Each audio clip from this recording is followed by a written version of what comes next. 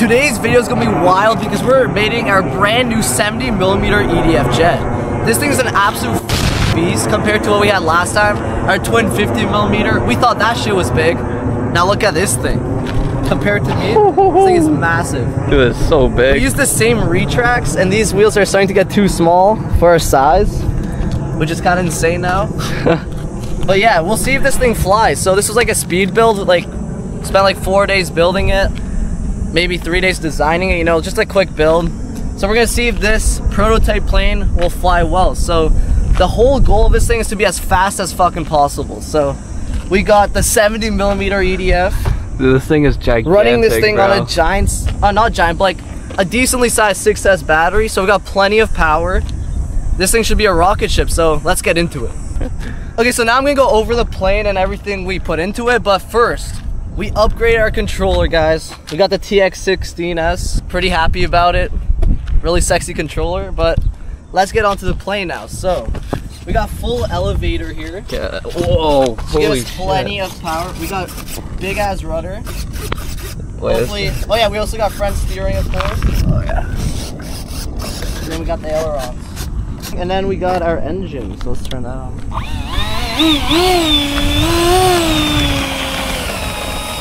Okay, again, you can see that the landing gears are a little too small, but what can you do, right? We're on a budget here. I put all my money on the new controller. It looks like it's just hovering above the ground. Okay, now that I'm So actually low. no, now that I'm actually like driving it around, it's kind of big, bigger than we're used to. Yeah. It's kind of just low riding. It's fine. It's yeah. It's so like. I know. low to Honestly, it gives it a nice pitch for takeoffs. Yeah. I will see. Okay, so now I'm gonna show the retracts. So we got full retracts. We got the wheels going to the wing, and then the front wheel just goes into the fuse. It looks sick So you though. got uh, the retracts. Oh, how they just like hide. Bang. So we got the retracts. Let's just hope everything goes well in flight.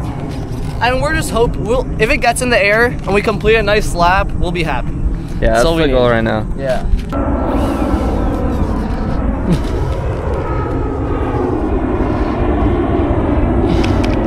Okay, let's go.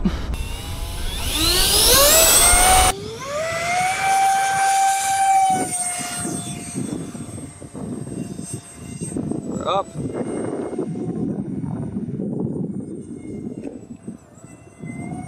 Oh my god, David. There's no way. First try? Holy shit. It's flying great. Yo, yo, the Elevon is loose as Do you see it shaking up and down?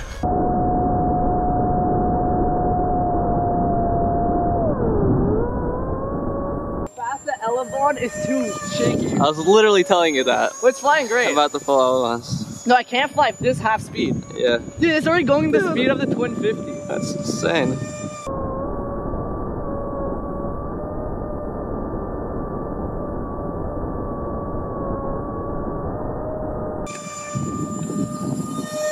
Wait, that's fucking fast. No, that, that's half speed. But I'll see how fast, how slow can fly. Okay, thing flies. Oh my god, yo. I'm shaking. Okay, but the Elevon, it's really like I can't go. When I went too fast, it was shaking like a mother. Well, yeah, that's, I literally told you that, like, the Damn full I'm are always pretty weak. Okay. Fuck. Okay, retracts down. Uh, go nice and far out and keep speed up. Just turn off the engine and just glide it in. And remember to pull up when you're about to land. Oh. And he did not pull up when he was about to land.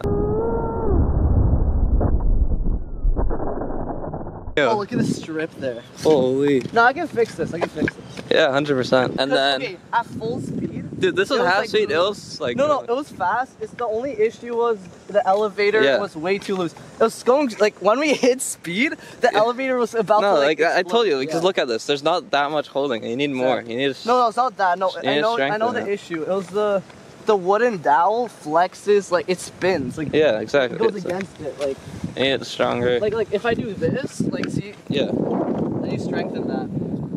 So That's why the I mean- normal elevators are better than yeah, I mean this flew fucking amazing. So yeah, we're gonna upgrade this thing and fly it again. It was now a day after the maiden flight and we got it all fixed up. And not only did I fix it, but I also added some new things. So first we got an FPV setup. So we're planning to fly this with the F-16. So we're gonna race and try to fly in formation. So make sure you stay tuned for that. And then the biggest issue during that flight was the fluttering of the Elevon. And to address that issue, I added a carbon rod instead of the wooden rod, which now is way more responsive to the servo and is a lot stronger. So if I hold the servo down, I could barely move this Elevon down. I can't show it now because I'm holding the camera, but it's a lot stronger than before and I'm confident it could go full speed with this Elevon. So make sure you guys stay tuned to see this thing fly in FPV and with the F-16. So see you guys in the next one.